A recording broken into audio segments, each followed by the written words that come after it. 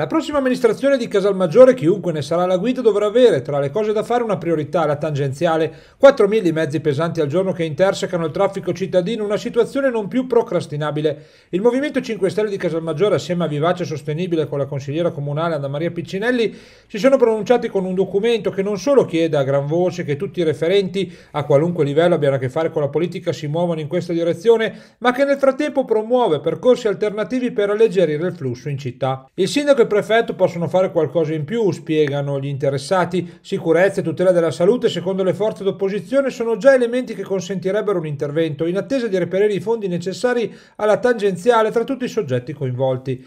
Il sindaco può agire infatti per la tutela della salute. I profili salute dei residenti di Casalmaggiore pubblicati da ATS segnano un peggioramento tra il 2019 e il 2021 e ora possiamo aggiungere anche il 2022. Quanto alla qualità dell'aria abbiamo installato, spiegano dal Movimento 5 Stelle da Vivace Sostenibile, Nostre centraline che hanno registrato costanti superamenti dei livelli di polveri sottili, dunque è fondamentale che il sindaco pretenda rilevamenti ufficiali sulla Solana.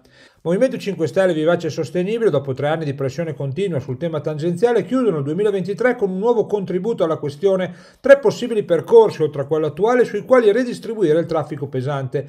Nessuno, precisano, attraversa centri abitati ad eccezione della frazione Dossi di Sabbioneta. Il primo collega Piadena a Sabbioneta via Rivarolo Mantovano, il secondo via Bozzolo e il terzo via Campitello. Sono tutti sicuramente più lunghi del percorso tradizionale, due di loro hanno alcune scomodità costituite dai passaggi a livello, tuttavia, come mostra la tabella non ci sono allungamenti particolarmente gravosi. Il passaggio a livello più insidioso è quello di San Giovanni in Croce, dove nelle fasce orarie interessate passano 34 treni, ma sono in gran parte concentrati tra il minuto 48 e 58 di ogni ora, quindi ovviabili con una buona organizzazione. L'altro passaggio è quello di Bozzolo, più problematico a causa dei treni merci che non sono prevedibili in quanto servizio privato, ma in cui comunque le code non insisterebbero sul centro abitato.